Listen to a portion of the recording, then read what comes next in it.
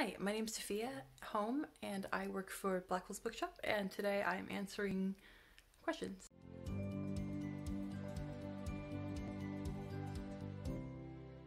Hi guys and welcome back to my channel. If you're a book lover, I'm sure you have been to or ordered from a Blackwell's bookshop. Well today we are speaking to a Blackwell's bookseller who is Sophia Holme. Hope you find it useful and enjoy. I manage a gift subscription service, which is basically just a hand-picked book every month shipped to your home, and I absolutely adore that. Uh, it's my favorite part of book selling, recommending books and figuring out what works for who, whom. Anyway, it's a great part of my job. I really, really enjoy it.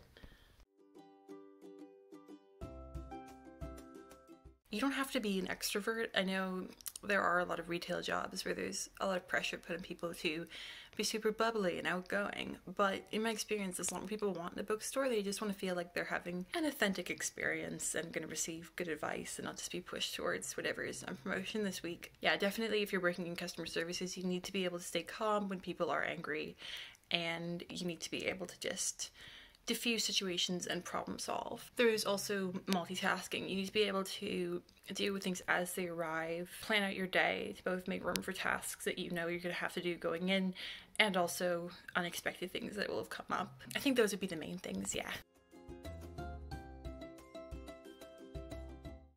I'm going to be super generic right now and say travel. I think we all feel that a little bit. Um, yeah, I, I wish I could travel and go places, but it's nice here as well.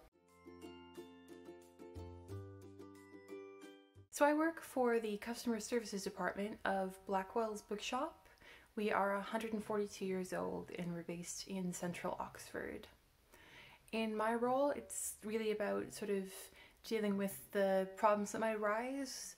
So we help with returns or if an order's been delayed or if someone has sort of a specialty order they want to place. Just to standard day-to-day -day book selling things. So we reserve orders for customers, we answer the phone, we check emails, we put out stock, we um, create displays and promotions, host events, and help with marketing.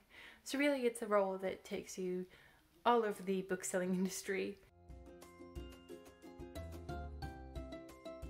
I'm going to say Carmen Maria Machado's In the Dream House it absolutely swept through the bookshop like a, like a storm. It's this incredible memoir of abusive relationship that she endured and it's so intelligently written. I think it would appeal to anyone who's been in any sort of difficult uh, relationship they can't make sense of.